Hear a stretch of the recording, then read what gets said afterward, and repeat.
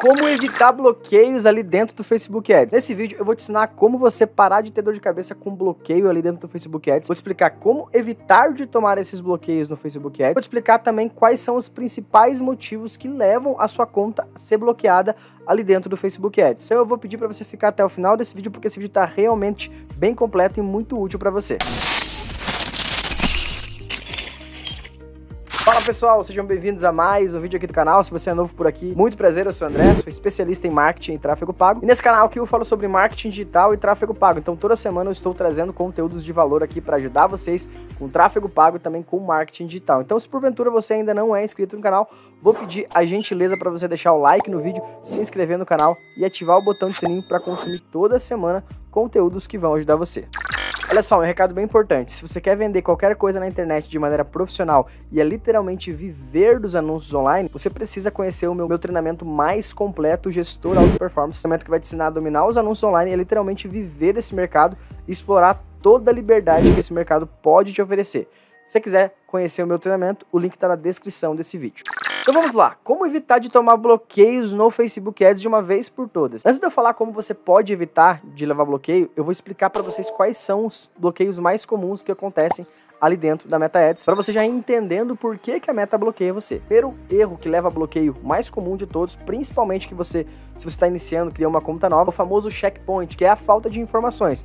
Então você criou sua página, criou a sua BM, criou suas configurações, porém você não cadastrou ali informação fiscal, não cadastrou seu PF, não cadastrou CNPJ, já vai querer anunciar ali. O que acontece? Quando falta dados, que a Meta precisa desses dados para poder emitir nota fiscal para você, porque a Meta ela presta nota fiscal de todos os serviços que ela presta. Então, ela precisa do CPF ou CNPJ para validar a sua conta ali a nível de conta de anúncios que você verifica isso. Coloca esses dados. Então, quando você não coloca esses dados, não coloca empresa, o CPF, endereço, CEP, não deixa todas as configurações, todas as informações suas bonitinho ali, a meta bloqueia você, é um bloqueio, porque ela quer forçar você a preencher esses dados antes de anunciar. Então, o primeiro erro ou bloqueio é por falta de informações de pagamento, de CPF, de CNPJ, enfim. Você deixou a conta incompleta, é o famoso checkpoint. Deixou incompleto ali, vai querer subir algum anúncio, a meta bloqueia você, porque ela está forçando você a entrar em contato ou até mesmo corrigir a pendência de informações faltantes ali dentro da meta. O segundo erro mais comum, que leva muita, muito bloqueio, é por atividade em comum. Por exemplo, a pessoa criou lá uma página, criou Facebook, criou um perfil, criou a página, criou a BM, ela não fez nada, tá nova, ela já vai querer anunciar. Pum, criou o pixel lá, criou toda a configuração e já de cara mete o um anúncio ali. A meta entende que isso é uma atividade em comum, é uma conta nova. Ela vai lá e bloqueia você. Vamos fazer, fazer o aquecimento da página, o aquecimento da BM. Por isso que é importante fazer o aquecimento, para a meta entender que você realmente é um usuário real ali. Você criou um perfil, criou uma página, movimenta esse perfil, movimenta esse usuário. Postagens, para a meta entender que você é um usuário real. Não adianta criar a página, criar o perfil, já no primeiro dia acabou de criar, já querer subir uma campanha de vendas lá, criar um pixel, isso vai ser caracterizado como atividade em comum e ela vai bloquear a sua conta ali por atividade em comum. Então faz o aquecimento, procedimento de aquecimento certinho antes, aquecimento de página, de BM, para você não ter esse tipo de dor de cabeça. Terceiro erro mais comum que leva bloqueio na conta é promessas inalcançáveis. Isso a galera do nicho black tá cansada de levar bloqueio, né? quando você sobe um produto proibido. Promessas inalcançáveis infringe uma das políticas da meta, que é produto proibido. Pensa comigo. A meta é como se fosse um grande galpão em que o dono desse galpão aluga esse espaço para você anunciar e vender produtos ali. Então é natural que ela queira vistoriar o que está sendo vendido ali. Então quando você coloca produtos com promessas inalcançáveis, principalmente produtos nicho black, ela vai bloquear a sua conta. E aonde que ela vai bloquear? Página de vendas. Ela vai analisar a tua página de vendas, o algoritmo da página de vendas, o que está sendo prometido ali, o seu criativo, a sua cópia. Então, tudo isso ela vai analisar que vai ser ruminado para você levar um bloqueio ali, porque você infringiu uma política da meta.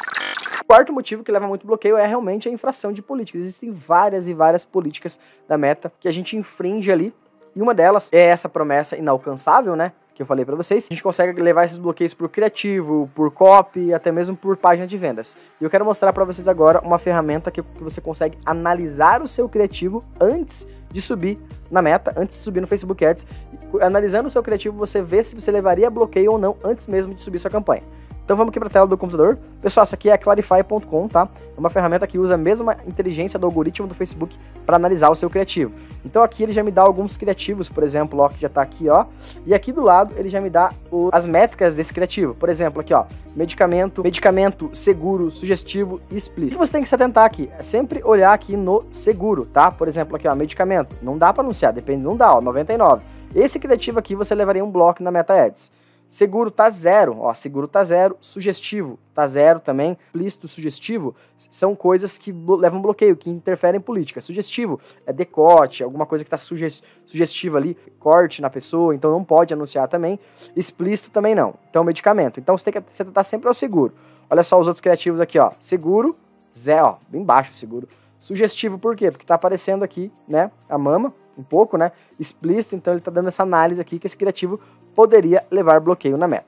Para você testar um criativo, você vem aqui em mais, ó, vai experimentar a sua própria imagem e a gente vai arrastar uma imagem para cá. Vou colocar um criativo qualquer aqui de, do meu curso, do Gestor Alta Performance, só para a gente analisar esse criativo. Ó. Coloquei esse criativo aqui e olha só as métricas que ele me dá. Seguro, 99,2, 99, tá? E ó, explícito 2, B0, isso aqui não quer dizer nada. Significa o quê? Que eu não tomaria bloqueio com esse criativo, tá? Então você sempre sobe seus criativos e vídeos e analisa como é que tá essas métricas aqui. Se o seguro estiver abaixo de 80 e explícito, medicamento, sugestivo e esse daqui estiver acima de 30, 40, batata, você vai levar bloqueio, não sobe o criativo. Altera ali tudo isso que ele está apontando, altera o criativo para você conseguir subir.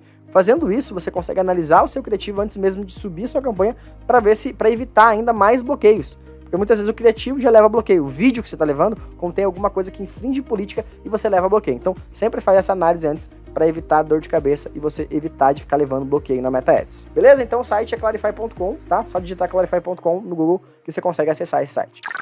Ficou alguma dúvida, pessoal? Deixa nos comentários, eu respondo todos os comentários. Me segue lá no Instagram, porque lá eu posto dicas e conteúdos diários sobre tráfego pago. Então, se você quiser receber dicas de, gratuitas sobre tráfego pago, você precisa me seguir no Instagram lá. Não esquece de dar uma olhada no meu treinamento de tráfego pago. E no mais, eu vou ficando por aqui. Forte abraço, fiquem com Deus e até os próximos vídeos. Valeu!